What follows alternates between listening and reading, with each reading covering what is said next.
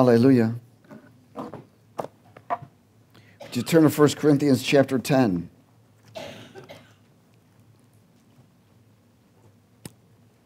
Turn your neighbor and ask him, Did you get it? If you don't get it, you're going to get it. Glory.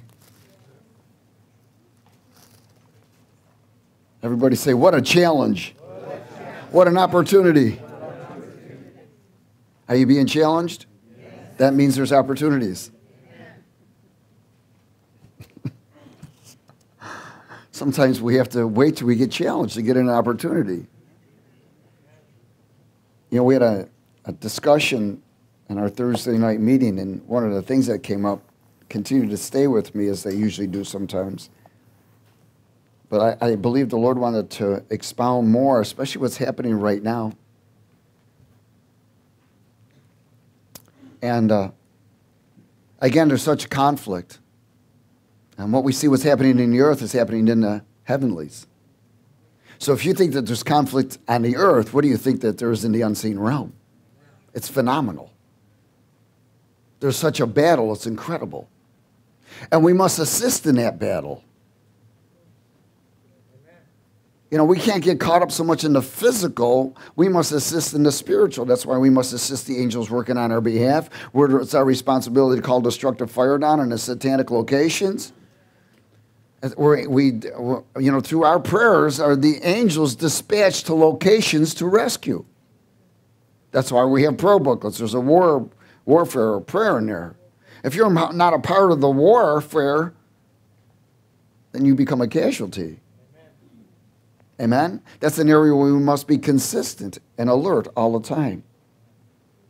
In 1 Corinthians chapter 10 and verse 1, hallelujah. Moreover, brethren, I do not want you to be unaware that all of our fathers were under the cloud and passed through the sea, and all were baptized in Moses in the cloud and in the sea, and all ate the same spiritual food, and all drank the same spiritual drink for they drank of the spiritual rock and, and that followed them, and that rock was Christ. But with most of, most of them, God was not well pleased, for their bodies were scattered in the wilderness. Now these things became our examples to the intent that we should not lust after evil things as they also lusted. And do not become idolaters, as were some of them. As it is written, the people sat down to eat and drink and rose up to play. Nor let us commit sexual immorality, as some of them did. And in one day, 23,000 fell. Nor let us tempt Christ, as some of them also tempted, and were destroyed by serpents nor complain, as some of them also complained and were destroyed by the destroyer. Now, all these things happened to them as examples, and they were written for our admonition, upon whom the ends of the ages have come. Therefore, let him who thinks he stands take heed lest he falls. No temptation has overtaken you except such as is common to man. But God is faithful, who will not allow you to be tempted beyond what you are able. But with the temptation will also make the way of escape that you may be able to bear it. Therefore, my beloved, flee from idolatry or services of other gods or desires. Again, what he's talking about escape. What is escape? It's an opportunity, isn't it? Many times, many people miss the opportunity to escape. And there's a reason why many miss the opportunity to escape the snare of the enemy is because their heart is not aligned with the word of promise. Their heart is not aligned. Their mind may be aligned in memory of the Word of God, but not the heart of action. There's a difference. I know many people that can quote scriptures and they're totally out of order. and out of God's will and timing. Again, without self examination and willful adjustments, results of the stopping of open opportunities. Again, without self examination and a willful adjustments in our life, there's results. And one of the results will be a constant fear. Works of the flesh. Missed opportunities will also lead into false opportunities. I'm going to say it again. Miss opportunities will sometimes lead into false opportunities. Because, see, the enemy sees when God is trying to bring an opportunity, the enemy will come and try and lay another one. So when you miss that opportunity, our hope is once we recognize that we missed it, it comes back again. But the enemy loves to bring it back before God's time, and people grab hold of that opportunity, and it's not from God. Because anything that's not of God's time is not God's will. Amen. They'll also lead to false opportunities of lust and desire, sexual debt, sickness, and harm. Any people fall into traps. We need to bring a constant self examination in the area of adjustments. Is everybody okay? So that we can escape ourselves and the enemy. Again, the word tells us that daily the enemy is setting traps up, isn't he? Missed opportunities. in 1 Corinthians 16, in verse 5.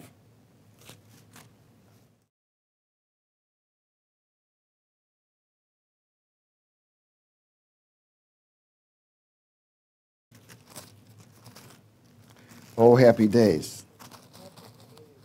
Let's speak it together. Now, I will come to you when I pass through Macedonia, for I am passing through Macedonia, and it will be that I will remain and even spend the winter with you, that you may send me on my journey wherever I go. For I do not wish to see you now on the way, but I hope to stay a while with you, if the Lord permits. But I will tarry in Ephesus until Pentecost, for a great and effective door has opened to me, and there are many adversaries. So, an open door is called an opportunity. So, Paul was journeying. And he was telling others that he was going to come and visit them, but a, a change of plan came. Why? Because there was an open door and an opportunity to minister to those who've been taken captive. Does everybody understand? And many times, because we're not looking at the markers, and we'll talk about the markers here in a minute, we begin to miss these opportunities. Hallelujah. It says in verse 9, For a great and effective door is open to me, and there are many adversaries. Many adversaries. In other words, open doors of opportunities. Now, I want to share with you some things that people miss these opportunities. One of the areas of individuals missing opportunities is negative attitudes. They always think worse first. Individuals that are in that state condition miss opportunities many times. They miss the blessings and to bless, and they also miss the escape or rescue. And one of the areas of this, which is vitally important, listen, we have a past, amen? So there's been things that have happened in our past in our past. So when people are living from their past and the enemy is trying to bring their past into the present, then they're making decisions according to their past. Now, there are things in our past that didn't work that we made decisions. Doesn't mean they were wrong or bad. It wasn't God's timing. But sometimes God is trying to bring that decision that you made before, even though it didn't work then, wants to bring it now but because they're still bound so much to the past and negativity, he's trying to work it now that something was wrong before to make it right. Is everybody okay? And again, this is where people are stiff necked and stubborn. This is where they walk with an attitude of negativity all the time. So when God is, because they're always connected to something in their past of negativity, when God is trying to bring it to change it around. Does everybody get this? And when people are bound in that arena, they miss the opportunity because they're still thinking of the negative stuff that happened in their past. Well, that didn't work then. Well, you ain't gonna know what's gonna work now? This is where it's important to have relationship and be led. See, when you're not in relationship and you're not led and you're not aligned, then you're out of order.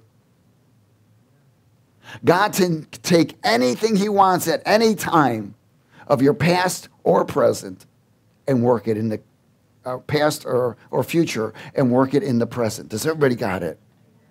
But we got to let God be God. That's where it's important in the relationship. This lets you know when we miss so many of these things that our relationship ain't right.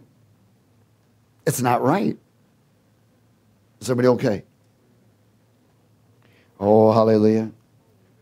Again, I want to share about this negative attitude and works first, you know, um, worse first thinking that always brings misleading, misleading the opportunities. Now, it doesn't mean that I'm not talking about sins of your past. You, know what I'm, I'm talking about decisions that were mistakes, but not sins. Is everybody okay? Hebrews 2.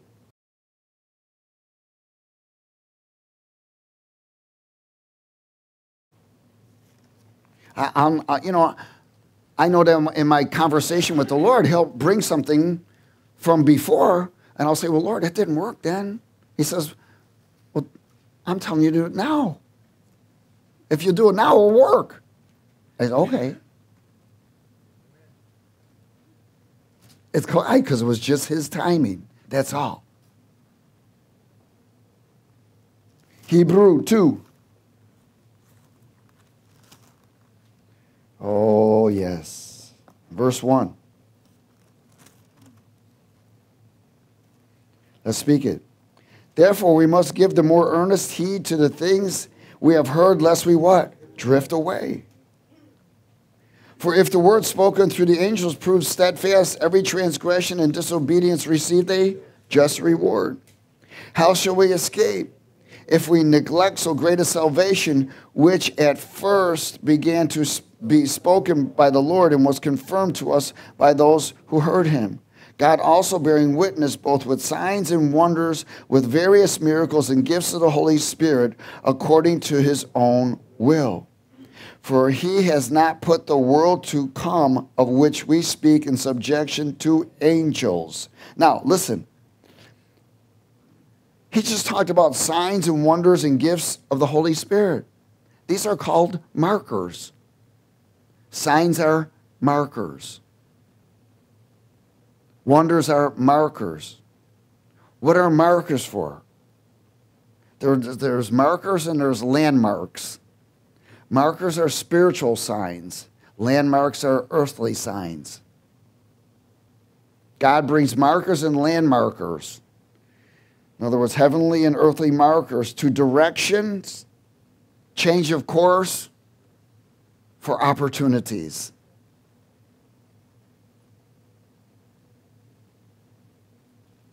Again, without a heart alignment with the Word and, and being led by the Spirit, the enemy knows how to bring false markers and mislead people into false opportunities.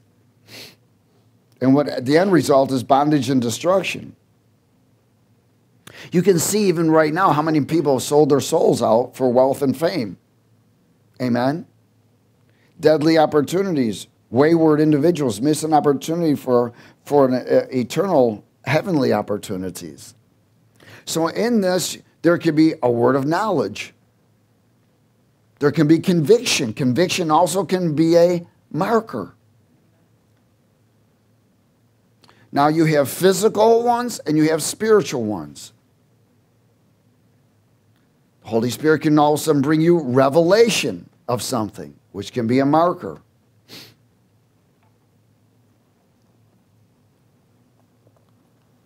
Is everybody okay?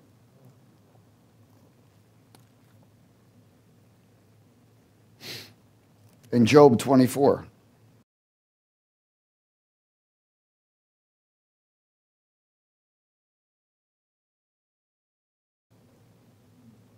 Oh, happy days. Missed opportunities.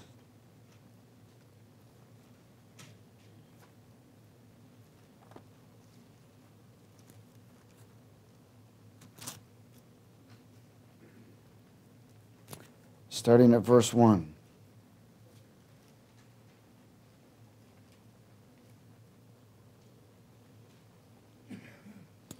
Is everybody there? Since what? Times are not hidden from the Almighty. In other words, nothing's hidden from. In God, there is no time. Amen? He's already said a beginning and an end. It's done and over with. But in him, there is no time. He's past, present, future, and forever. Only his creation is subject to time. But as born again believers, we're not involved in the area of time. Time should not be against us, should be working for us. Since times are not hidden from the Almighty, why do those who know him see not his days? Some remove what? Landmarks. They seize flocks violently and feed on them. Why? Because these are landmarks the enemy has placed or the ones that the enemy has replaced that God has set somewhere, but the person doesn't see it. Does everybody understand that? They seize flocks violently, they feed on them. They drive away the donkey of the fatherless. They take the widow's ox as a pledge. They push the needy off the road all the poor of the land are forced to hide. Indeed, like wild donkeys in a desert, they go out to do their work searching for food. The wilderness yields food for them and for the children. They gather their fo- fodder in the field and glean the vineyard of the wicked. They spend a night naked without clothing and have no covering in the cold. They are wet with the showers of the mountains and huddle around the rock for what of for what of a shelter. False markers false markers will come. You will not be able to discern it unless you are aligned with the Word of God and the anointing. Amen? That's the life that you and I must lead. We must be a place of being led, not misled. Listen, what's going on right now? There's false prophets, amen? False teachers, false religion, there's false media. What's it doing? Those are setting landmarks where people are being misled to false opportunities. And they're believing in things that's causing them problems, destruction. They're allowing the enemy to steal their identities. Remember, he comes to steal, kill, and destroy, doesn't he? Again, there's false prophets and teachers that are misleading individuals away from godly opportunities. And Proverbs 29.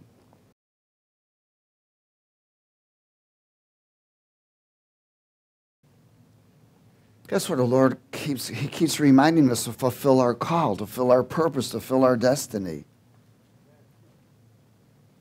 And not let anything to get in the way of it. But the enemy likes to get us busy. So busy we miss. And then, you know, the worst thing that we can be can happen is being successful in the wrong assignment. Amen. That's the wrong opportunity. In verse 17, Proverbs 29, verse 17.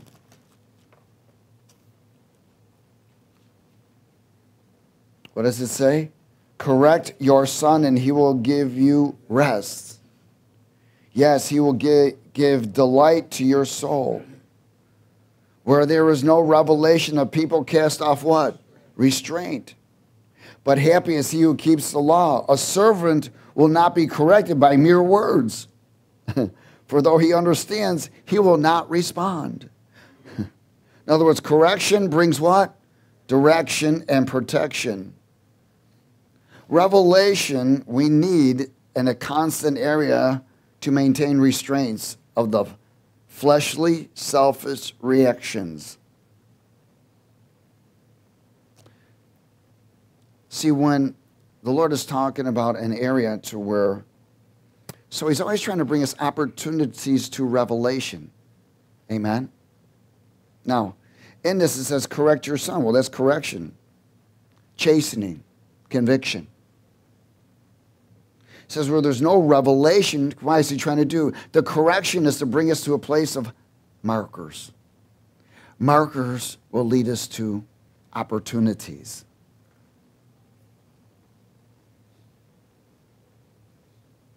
He said, A servant will not be corrected by mere words. In other words, sometimes individuals just aren't going to take it by talking to them. There has to be consequences. Does everybody get it? There has to be consequences. And the purpose of consequences is to get an individual back to alertness so that they may see the markers, follow the opportunities. There's two things that God is always trying to bring to me and you opportunities of revelation and visitation.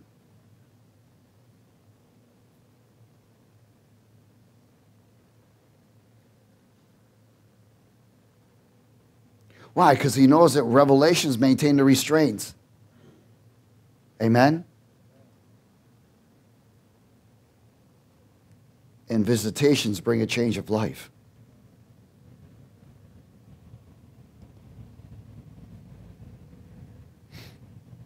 Psalm 119.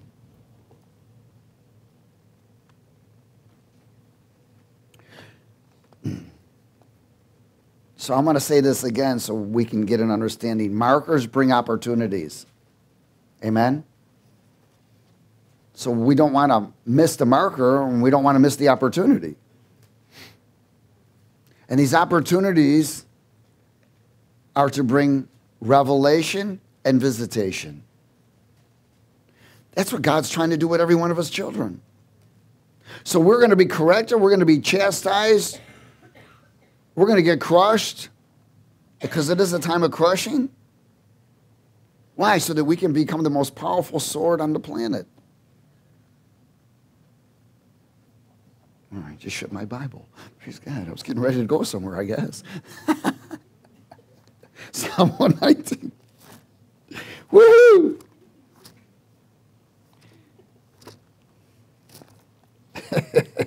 and verse 67.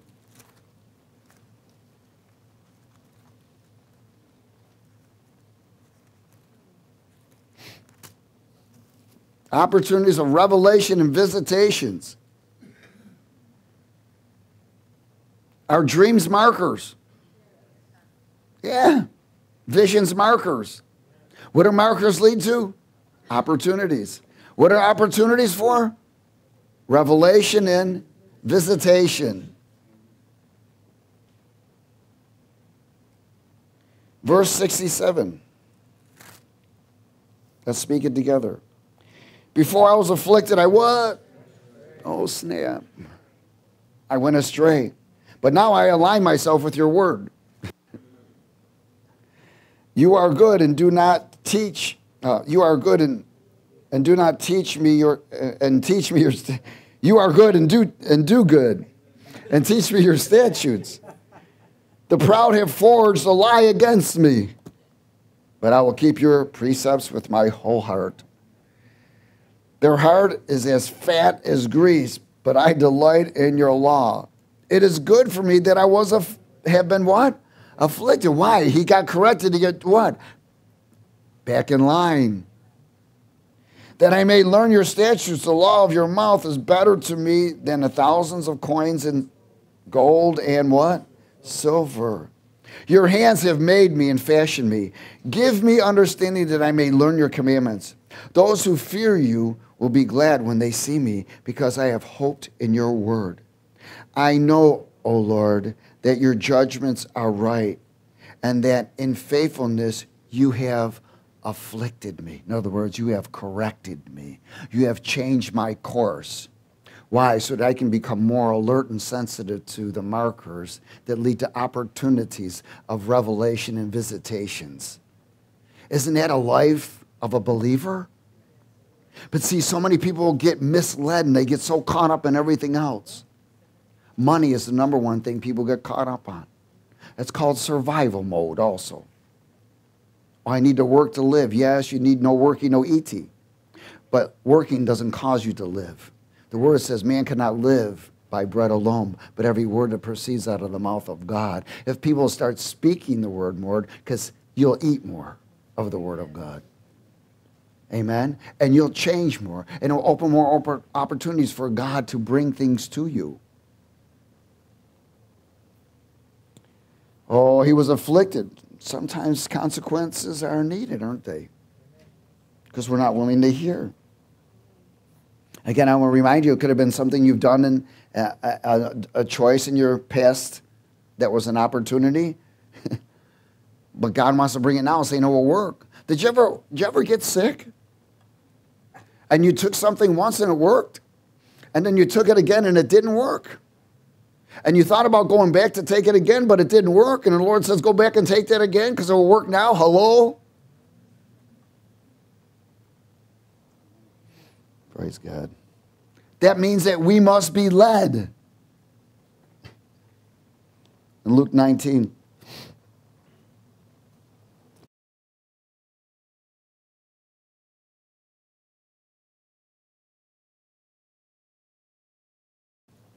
Did you ever apply for a job?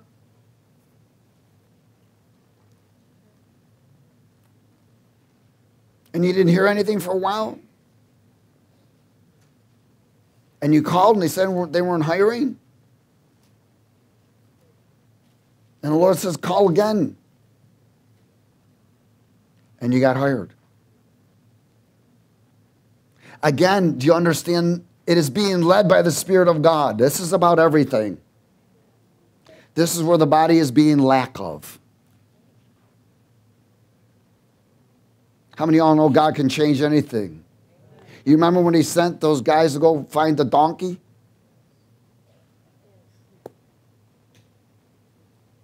They kind of realize, man, wait a minute, it's, there ain't no donkeys around here right now.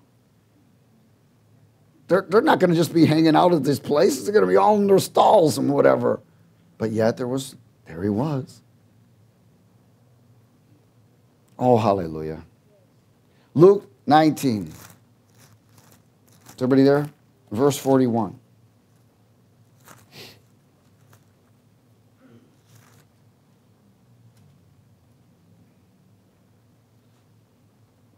I'll never forget when the Lord said to me, I want a witness motorcycle. And uh, says, I want something with my name on it. And I said, Oh, you want me to go buy a used Harley? He said, No. I didn't know about all of these other types of custom bikes and so forth. And he sent me into this place. And uh, I went in there and I talked to the guy and whatever. And I, I thought that money was too much money. And, and I left and I started looking at other places, saying, Lord, what do you want to do? He said, I, go back there. I sent you there. I said, I don't have the money. And he like looked at me like, I own all the cattle, you know? What's the problem? And I went back there, and the guy that was, I was talking to said, Man, I've been waiting for you to come back. I said, What? He said, We got a deal for you. Said, Oh, God, it sounds like my old life. but they did. They had a godly deal. And it worked out fine. And we got a bike with Christ the King on it. But if I didn't obey him and go back, I would have never gotten that. And everything fell into place. The money came when I became obedient. Hello? See, so many times people are concerned about the money if you're obedient. If God sends you to do something, He'll provide, He'll make a way. See, but they're waiting for a physical marker when they already got the eternal marker. It's called His voice. Oh, hallelujah. Luke 19 41. Is everybody okay? Let's speak it. Now, as Jesus drew near, he saw the city and wept over it, saying, If you had known, even you, especially in this your day, the things that make for your peace. But now they are hidden from your eyes. For the days will come upon you when your enemies will build an, an embankment around you, surround you, and close you in on every side, and level you. That's where that word came from level you. And your children within you to the ground, and they will not leave you one stone upon another because you did not know the time of your visitation. What? They missed opportunity, didn't they? Did it bring destruction? Yes, he was trying to make a way of escape, but they wouldn't listen to him, would they? And they read about him the whole time, talked about him the whole time, but missed him when he showed up. missed opportunities of visitation bring disasters, can bring destruction also, can bring sickness, can bring disease can bring debt. Amen. Missed revelations, opportunities of revelation and visitations can cause a tremendous pain and sorrow in an individual's life. John 16.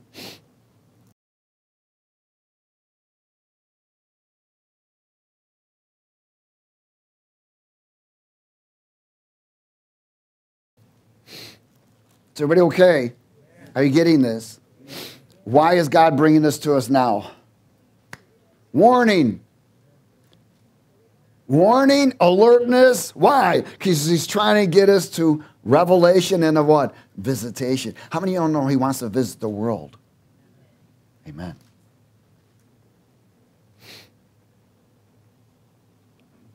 Verse 12, let's speak it. Uh, John 16, 12. I still have many things to say to you, but you cannot bear them now.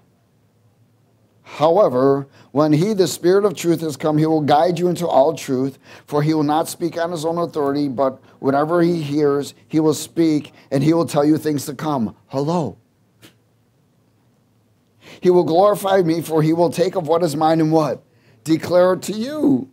All things that the Father has are mine, therefore I said that he will take of what is mine and declare it to you. A little while and you will not see me, and again a little while and you will see me because I go to the Father. Again, the Holy Spirit of truth will lead us to opportunities of revelations and visitations. He will guide us and warn us of the traps of false markers and false opportunities. But this is where your relationship is vital. That's where he says, Seek ye the kingdom of God and his righteousness. Well, where does his righteousness come from? His presence. In Hebrews 3.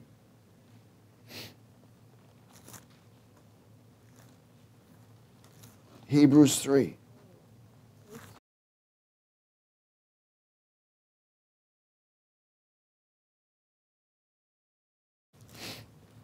In verse 7.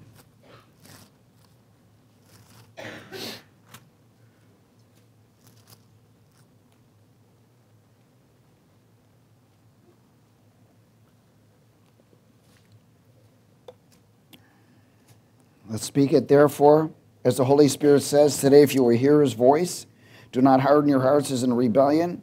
In the day of trial in the wilderness, where your fathers tested me and tried me, and saw my works forty years. Therefore I was angry with that generation and said they always go astray in their what? Heart. Heart. Why? Because what the enemy wants to do is misalign your heart, doesn't he? And they have not known my ways. So I swore in my wrath, they shall not enter my rest. Beware, brethren, lest there be in any of you an evil heart of unbelief in departing from the living God.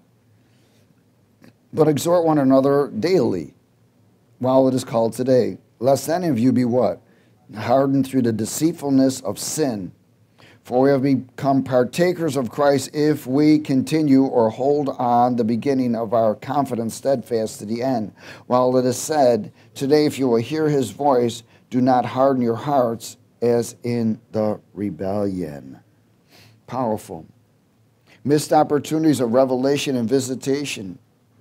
Many times people miss the releasing of provision because still living in the past of things that did not work. Does everybody get it? We must hear his voice.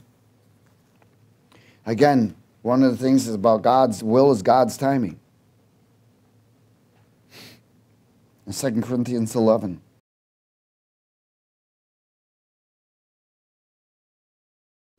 Sometimes God is giving you an opportunity to, for you to bless someone so that you can get a blessing. Amen? Besides escape and all the other things.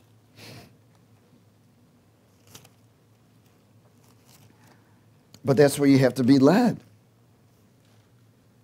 Amen? You got to know.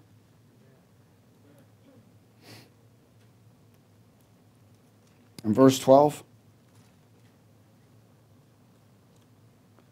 Paul wrote, But what I do, I will also continue to do, that I may cut off the opportunity of those who desire an opportunity to be regarded just as we are in the things which they boast. For such as what? False apostles, deceitful workers, transforming themselves into apostles of Christ. And no wonder, for Satan himself transforms himself into an angel of light. Therefore, it is no great thing if his ministers also transform themselves into ministers of righteousness, whose end will be according to their works. Powerful. So, God will place an opportunity to expose wickedness, wolves in sheep's clothing. Those full of pride and fear are prime candidates for missed opportunities. They're still bound.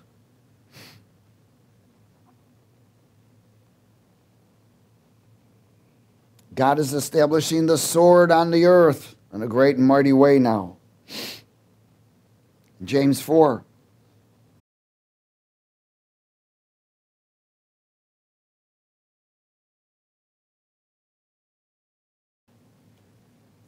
James chapter 4, verse 1.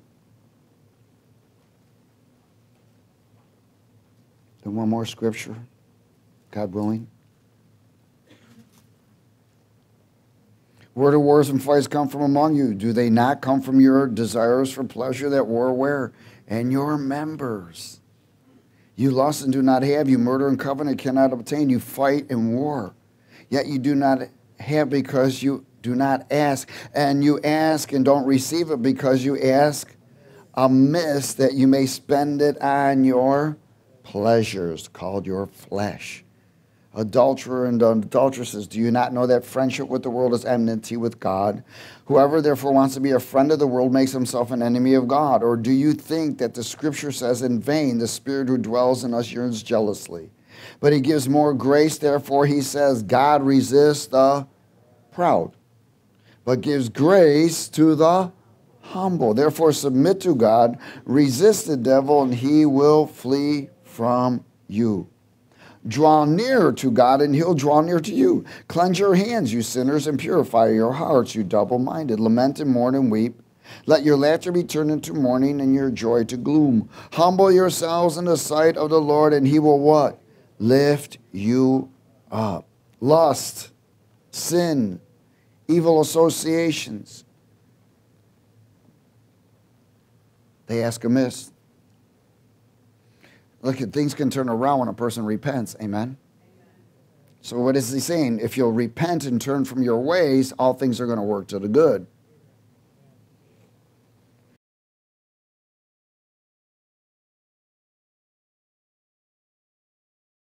Oh, I'm sorry, Deuteronomy 28.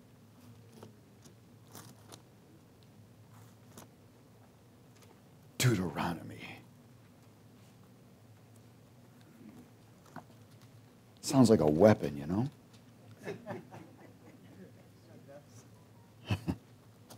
Deuteronomy.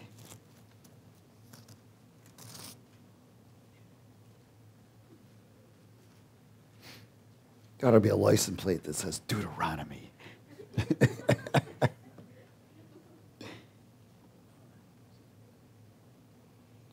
verse 1, Deuteronomy 28. Missed opportunities. Stop it.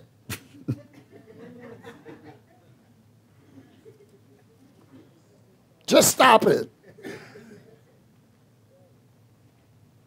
Before you get buried alive. Verse 1. Now, let's speak it. It shall come to pass if, that means cooperation, you diligently, hello, you alertly, consistently, effectively obey the voice of the Lord your God. Be led by the Spirit to observe carefully all his requirements and commandments and commands, which I command you today, that the Lord your God will set you on high above all nations of the earth. And all these blessings shall come upon you and overtake you because you obey the voice of the Lord your God. In other words, lots of opportunities. For what? Revelations and visitations, blessings, provision, healing. Blessed shall you be in the city, and blessed shall you be in the country. Blessed shall be the fruit of your body, and produce of your ground, the increase of your herds, the increase of your cattle and offspring of your flocks. That could be representation of automobiles and things of that nature.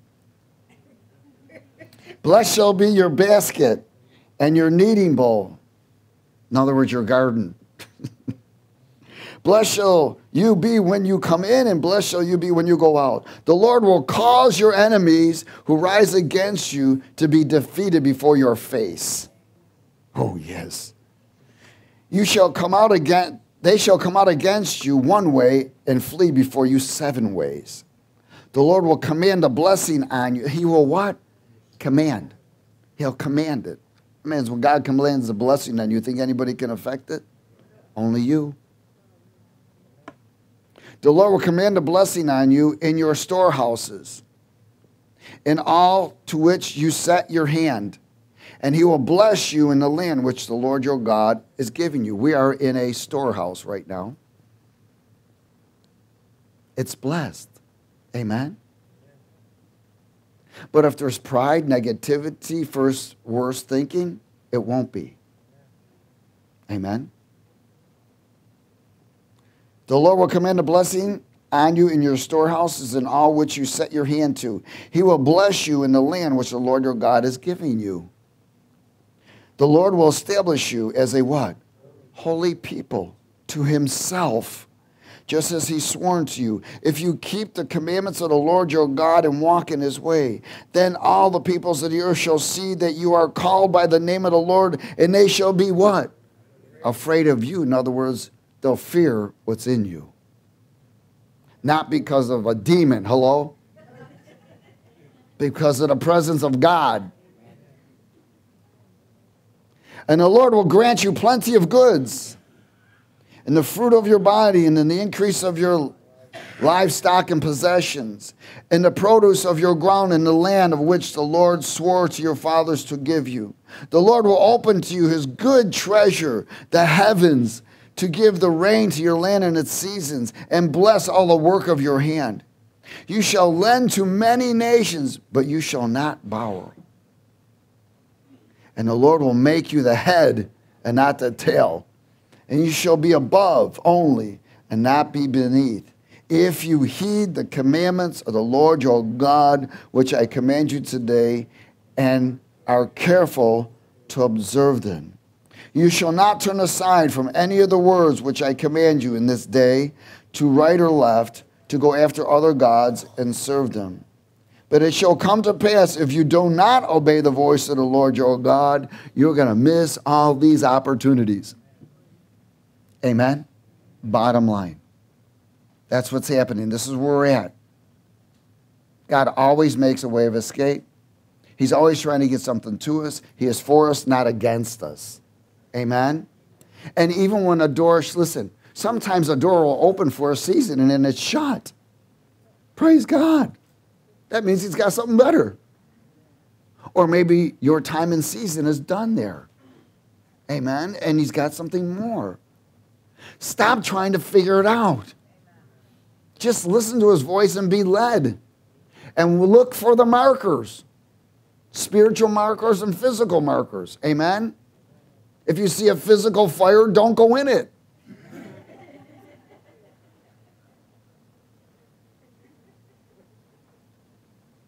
You know, don't run, run, run lights. It says stop.